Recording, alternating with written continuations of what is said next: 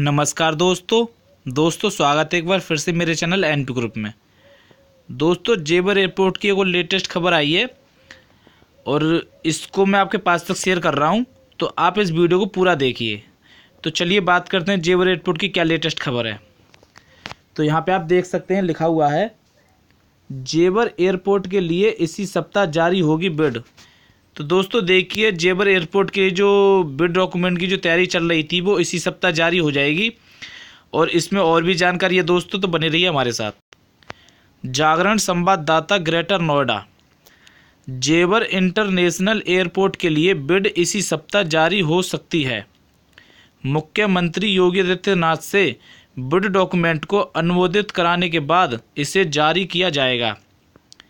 Airport की ज़मीन अधिग्रहण के लिए दो गाँव का अवार्ड भी इसी सप्ताह घोषित हो जाएगा।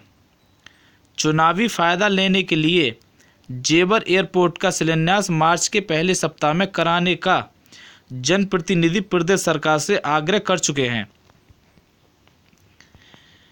प्रदेश कैबिनेट से मंजूरी के बाद जेबर एयरपोर्ट के बिड डॉक्यूमेंट को केंद्र सरकार के पास परीक्षण के लिए भेजा गया था। इसके परीक्षण का कार्य लगभग पूरा हो चुका है। इसलिए एयरपोर्ट की बिड इसी सप्ताह जारी होने की पूरी संभावना है। बिड जारी होने के दिन से छः माह के लिए मान्य रहेगी। इस दौरान लोकसभा चुनावों की प्रक्रिया भी पूरी हो जाएगी।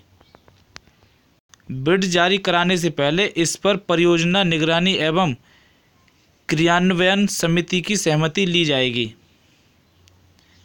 इसके बाद मुख्यमंत्री योगी आदित्यनाथ के अनुमोदन के लिए रखा जाएगा। प्रदेश कैबिनेट पूर्व में ही मुख्यमंत्री को जेवर एयरपोर्ट संबंधी निर्णय के लिए अधिकृत कर चुकी है। ज़मीन अधिग्रहण के लिए प्रशासन बुधवार से आपत्ति निस्तारण करेगा। मंगलवार को भी प्रभावित गाँव के ग्रामीणों की आपत्ति दर्ज की गई। ग्रामीणों ने मुआवजा, पुनर्वास और व्यवस्थापन को लेकर आपत्ति दर्ज कराई हैं। तेईस फरवरी को दो गाँव का अवार्ड घोषित हो जाएगा। इसके साथ ही मुआवजा, वितरण व ज़मीन पर कब्जा लेने का कार्य शुरू होगा। जिला प्रशासन, आरटीजीएस से किसानों के खाते में मुआवजा धनराशि भेजेगा। तो दोस्तों, देखिए, ये जानकारी थी जेवर एयरपोर्ट की और इसमें कौन कौन से गाँव को, दो गाँव को जो तेईस फरवरी को अवार्ड घोषित होगा और इसमें क्या क्या व्यवस्था चल रही है दोस्तों क्या क्या तैयारी चल रही है, सारी जानकारी थी इस वीडियो में। तो दोस्तों, आशा करता हूँ कि आपको ये जानकारी अच्छी लगी होगी तो आप इसको ज़्यादा से ज़्यादा शेयर करिए और इस वीडियो को लाइक करिए। धन्यवाद दोस्तों।